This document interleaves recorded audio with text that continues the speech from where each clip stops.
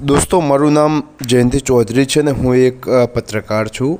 મહત્ત્વની જો આજે વાત કરીએ તો જે રીતે બિન સચિવાલયની એક્ઝામ રદ કરવામાં આવી છે, ખૂબ જ ક્રૂર મજાક તમારી બધાની સાથે કરવામાં આવ્યું છે. સામે સમાચાર મળી રહ્યા છે કે ધોરણ બારના વિદ્યાર્થીઓ પરીક્ષા નહીં આપી શકે.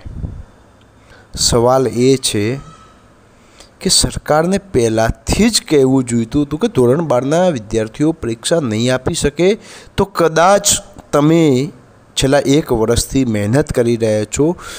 વાર્ષિક મંથલી ગણીએ આપણે, તો એક મહિનાના ટ્યુશનના તમારા ક્લાસીસના છ હજાર રૂપિયા અને માત્ર ઓછામાં ઓછા છ હજાર રૂપિયા તમારા રહેવા ખાવા જમવા મટીરિયલના લઈ લઈએ, તો બાર હજાર રૂપિયા. દર મહિને બાર હજાર લેખે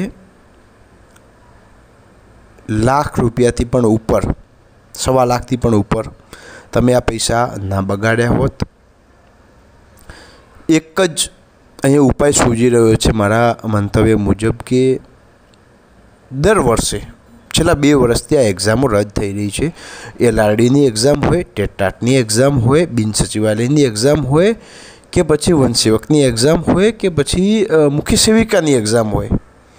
તમામ એક્ઝામો રદ કરવામાં આવે છે, એએમસીની એક્ઝામ હોય પેપરો લીક થાય છે. સંવેદનશીલ સરકાર મુખ્યમંત્રી વિજય રૂપાણી જે કહે છે, બેવકૂફ બનાવે છે તમને જે મુખ્યમંત્રી વિજય રૂપાણી પોત, તમે પૈસા ખર્ચીને જાઓ છો મૂવી જોવા માટે, તે પંદર મિનિટ સુધી વિજય રૂપાણીની જાહેરાત ચાલે છે. સંવેદનશીલ સરકાર, આમ કર્યું આમ કર્યું આમ કર્યું આમ કર્યું. અરે ભાઈ, તમે એના બદલે ચલાવો ને કે બાર પાસ પછી એક્ઝામ નહીં આપી શકો, તમે વધારે ભણો. અડધો કલાક રોજ એડવર્ટાઇઝ આપે છે મીડિયામાં ચેનલોમાં અરે ભાઈ, એ ખર્ચો કરવાના બદલે એ એડવર્ટાઇઝ આપો ને કે બાર પછી એને શું કરવું જોઈએ?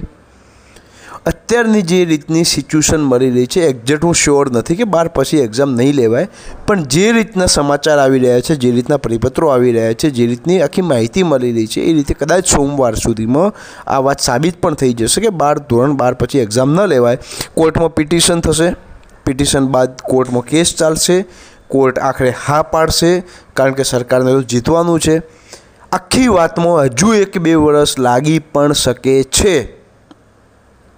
તમારી પાસે માત્ર ને માત્ર સાહેબ સમય ઓછો છે. આ છ વિધાનસભાની ચૂંટણી છે. સરકારને બતાવી દો. તમારી જે મિત્રો છે એમને કહી દો કે યુવાનો શું કરી શકે છે. છ સીટો જો કોંગ્રેસને કે અપક્ષને તમે જો આપી દીધી ને, તો ગેરંટી સાથે કહું છું, નોટબંધી ઓન ધ સ્પોટ જે રીતના લાઇસન્સના કાયદાઓ ઓન ધ સ્પોટ જે એક્ઝામો રદ થાય છે, જે રીતે પેપર લીક થાય છે, બધા જ બંધ થઈ જશે. માત્ર તમારે નક્કી કરવાનું છે, હું તો એક જરિયો છું, તમને કહી શકું છું. કારણ કે આજની જે વેદના છે, એટલા માટે આ વ્યક્ત કરી રહ્યો છું. મને આજે એક બહેન મળ્યા, એમણે કહ્યું, ભાઈ, ત્રણ વર્ષની દીકરીને ગામડે મૂકીને આવી છું. દીકરી બીમાર છે. દીકરીને કહ્યું, બેટા, દિવાળી પર આવી રહી છું. શું કરું? દિવાળી પર નહીં જઈ શકું? કારણ કે આ ભ્રષ્ટ સરકારે એક્ઝામ ફરીથી રદ કરી છે. મને કંઈ જ સૂચતું નથી કે હું ગાંધીનગર રહું કે મારા દાહોદ ગામડે જઉં. એક ભાઈ મળ્યા. પરમાનન્ટ જોબ હતી મારી પ્રાઇવેટ કંપનીમાં છોડીને તૈયારી કરવા આવ્યો છું. ખબર હતી કે ગૌણ સેવામાં લાગી જઈશ. આ જે એક્ઝામ હતી એમાં બિન સચિવાલયમાં. એક્ઝામ રદ થઈ છે. શું કરું? બીજા એક ભાઈ મળ્યા. સાહેબ, ત્રણ વર્ષ સુધી નોકરી કરીને પગાર બચાવ્યો. ક્લાસીસના પૈસા ભરીને ક્લાસીસ કર્યું. મારું બજેટ પૂર્ણ થઈ ચૂક્યું છે. હવે ફરીથી એક વાત આવી છે કે એક્ઝામ લેટ છે. એક્ઝામ માટે તૈયારી કરું કે પછી ગામડે જતો રહું? અનેક કિસ્સાઓ બાદ આ આખરે મારે આ રેકોર્ડિંગ કરવા મજબૂર થવું પડ્યું છે. દોસ્તો, એક જ વાત કહીશ. સરકારને બતાવવાનું તમારે છે, સાડા દસ લાખ પરિવાર, સાડા દસ લાખ પરિવાર કોંગ્રેસના ક્યારે ન હોઈ શકે, સાડા પાંચ લાખ આપણે ગણી લઈએ, ભાજપના પરિવાર પણ હોઈ શકે. સાડા દસ લાખ પરિવાર સાથે ક્રૂર મજાક આ સરકાર જો કરી શકતી હોય ને તો તમારે પણ એ સરકારને બતાવવું જોઈએ કે તમારામાં હિંમત શું છે. આપણે અત્યારે પાઉભાજી, વડાપાવ અને મસ્કાબન ખાઈ અને નમાયેલા થઈ ચૂક્યા છીએ કે સરકારને માત્ર એની વાતો પર, એની અફવા પર વોટ આપી રહ્યા છીએ. તમારામાં હિંમત હોવી જોઈએ. છ વિધાનસભામાં સાહેબ બતાવી ચૂકો એમને. હું ગેરંટી સાથે કહું છું, સરકાર જીવનમાં છે ને, તમને પૂછ્યા વગર નિર્ણય નહીં લઈ શકે. એક સમય હતો કે ક્યારે એક્ઝામના પેપર લીક નહોતા થતા. એક સમય હતો કે સરકાર કંઈ યુવાનોને પૂછ્યા વગર કંઈ કરી નહોતી શકતી. તમે નમાયેલા છો, એ એક્સેપ્ટ કરો. એક્સેપ્ટ ન કરવું હોય તો બતાવો, આપણે કોઈને યુદ્ધ નથી કરવું, કોઈને મારવા નથી, કોઈ ખરાબ રસ્તો નથી અપનાવવો. માત્ર એટલી જ વાત છે કે બત્રીસો જગ્યા માટે સાડા દસ લાખ બેરોજગાર યુવાનોએ ફોર્મ ભર્યા છે. એમના સપનાઓ સાથે જોડાયેલી વાતો છે. સાહેબ, થોડું તો વિચારો તમે પોતાની જાતથી. નીતિન પટેલ એવું કહે છે જે નાયબ મુખ્યમંત્રી ગુજરાતના છે. મને ખબર નથી એક્ઝામ કેમ રદ થઈ છે. અસિત વોરા જે પોતાની જવાબદારી છે, પોતે કહે છે કે મને ખબર નથી એક્ઝામ રદ કેમ થઈ છે. સાલું હદ તો ત્યાં થઈ ચૂકી કે જ્યારે અધિકારીને ખબર નથી, જ્યારે સરકારને ખબર નથી છતાં એક્ઝામ જો રદ થઈ હોય ને અને જો યુવાનો નમાયેલા થઈને બેસી રહે તો એમને પોતાને એક વસ્તુ, પોતાની જાતને પૂછવું જોઈએ કે અઢી વર્ષ પોતાના મા બાપ ખેતી કરી છે, કારી મજૂરી કરી છે, પરસેવો પાડ્યો છે, તમે બાર હજાર રૂપિયા લાયા છે, એની કિંમત શું છે તમને ખબર છે? તમારે વિરોધ કરવાનો સમય આવી ચૂક્યો છે. હું નથી કહેતો કે ગાંધીનગરમાં ભેગા થાઓ, કારણ કે ગાંધીનગરમાં ભેગા થશો તો સરકાર ભાજપની છે, લાઠી ચાર્જ કરશે, તમને મારશે, તમારા પર ખોટા ચાર્જ લગાવશે. જીવનભર બરબાદ થઈ જશો. એટલું જ કહું છું કે છ વિધાનસભામાં તાકાત હોય તો બતાવી દો તેમને. લાઈફ ટાઈમ માટે હું કહું છું કે જીવનભર ભાજપ આવે કે કોંગ્રેસ આવે, તમને પૂછ્યા વગર કોઈ નિર્ણય નહીં લઈ શકે. છ વિધાનસભા છે, માત્ર છ સીટો છે. બતાવો એમને કે તમે આ અણધડ નિર્ણય લઈ રહ્યા છો, એની પાછળનું રીઝન કે એની પાછળનું રિએક્શન આવી શકે છે તમે નથી બતાવી રહ્યા. નોટબંધીમાં તમારા મા બાપ જે જેમની ઉંમર પચાસ વર્ષ છે સાલાઓ તમને શરમ નથી આવતી. પચાસ વર્ષની ઉંમરનો બાપ બિચારો લાઈનમાં ઊભો તો તમને ખબર નથી પડતી, તમારા માટે ઊભો તો.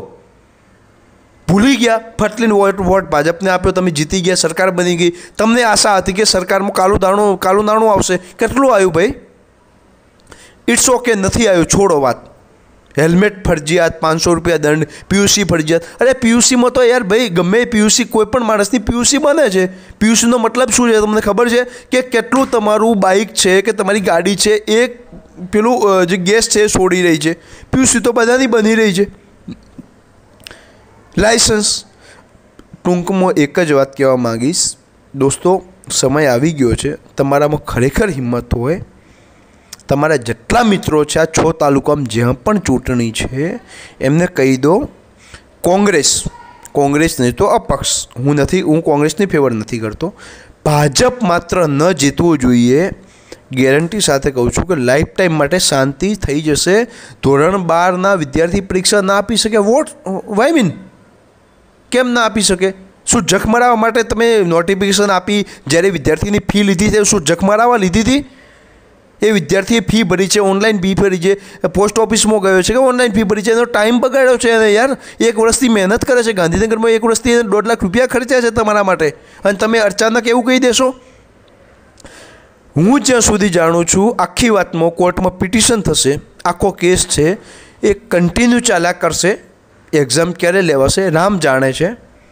આખી વાતમાં માત્ર ને માત્ર કોર્ટ પિટિશન થશે, કોર્ટમાં કેસ ચાલશે, સરકાર કહેશે કેસ કોર્ટમાં છે, હું કંઈ બોલી શકું ને આપણી કોર્ટ, આપણે જાણીએ છીએ, ટીકા એટલા માટે નથી કરી શકતા કે હું ટીકા કરવા જઈશ તો હું જેલમાં જઈશ.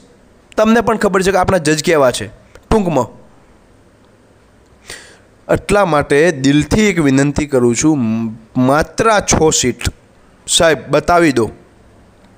હું તમારા માટે તૈયાર છું, હું એક રિપોર્ટર છું, હું એક ચેનલનો રિપોર્ટર છું, હું જાહેર નથી કરી શકતો કે હું જાહેરમાં નથી આવી શકતો. કારણ કે મારી પણ કેટલીક મર્યાદા છે. પણ તમે તો યાર તમારા મા બાપના કાળા પસીનાના પૈસાઓ વેર્યા છે ને તમે દિલથી ચૌદ પંદર સોળ કલાક મહેનત કરી છે યાર. શું કામ એનો વિરોધ ના હોઈ શકે? વિરોધ સોશિયલ મીડિયા પર કરવાથી કશું જ ન થાય. તમારે વિરોધ કરવા માટે સરકારને બતાવવું પડશે કે તમારી હિંમત શું છે? એટલે હું આશા રાખું છું કે સોમવાર સુધીમાં તમામ જગ્યાએ મારો જે મેસેજ છે ફોરવર્ડ થાય, સોમવાર સુધીમાં આનો નિર્ણય આવે અને જો ખરાબ નિર્ણય હોય તો બંગડી હાથમાં પહેર્યા વગર નોકરી તેલ લેવા ગઈ. શું કરી શકાય છે? કઈ રીતે કરી શકાય છે? એના માટે નક્કર પગલાં લઈ શકાય એમ છે.